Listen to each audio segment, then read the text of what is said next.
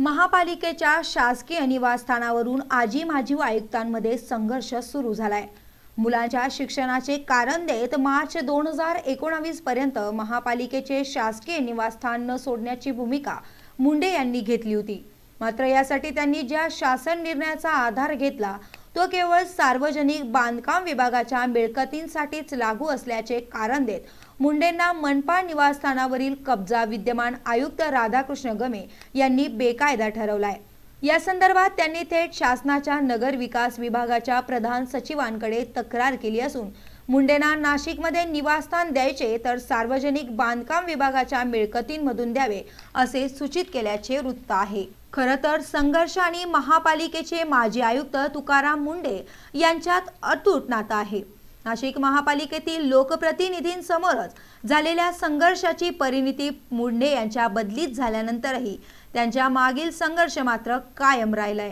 मुंडे यांच्यासोबत सध्या विद्यमान आयुक्त गमे यांचा संघर्ष रंगला असून या संघर्षाचे कारण त्यांनी बदलीनंतरही ताब्यात ठेवलेले महापालिकेचे निवासस्थान ठरले आहे. बावीस नोव्हेंबर दोन हजार अठरा रोजी मुंडे यांच्या महापालिका आयुक्त पदाच्या नऊ महिने तेरा दिवसांच्या कारकिर्दीची अखेर झाली आहे. मुंडे महापालिकेच्या आयुक्तपदी कार्यरत असताना त्यांना निवासासाठी गडकरी चौकातील महापालिकेचे निवासस्थान देण्यात आले होते.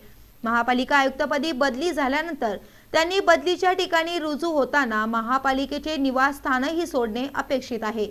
मात्र बदलीनंतर गेले दीड महिने महापालिकेच्या निवासस्थानावर त्यांचा ताबा कायम आहे.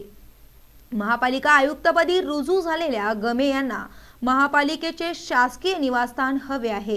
किंबहुना नियमानुसार त्यांना या निवासस्थानाचा ताबा दिला जाणे आवश्यकच आहे. मात्र मुलांच्या शिक्षणाचे कारण देत मुंडे यांनी निवासस्थान सोडलेले नाही. यासाठी त्यांनी एका शासन निर्णयाचा आधार घेतला असून मार्च दोन हजार एकोणावीस पर्यंत मनपाचे निवासस्थान वापरण्याची विनंती त्यांनी शासनाला केली आहे. Karan Singh Bawari Daksh police news Nashik.